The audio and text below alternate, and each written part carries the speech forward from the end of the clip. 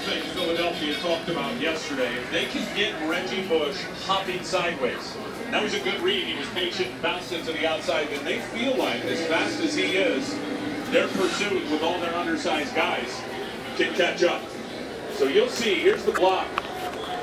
Right on Kouamisi there. Now Reggie, as soon as he had to cut and go sideways, and then another cut back inside to stop his feet, then you see all the clean jerseys show up and flash into the screen.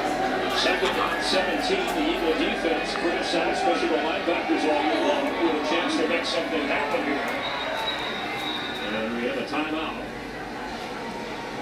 Timeout. Miami. They're first. Dolphins will have two timeouts remaining.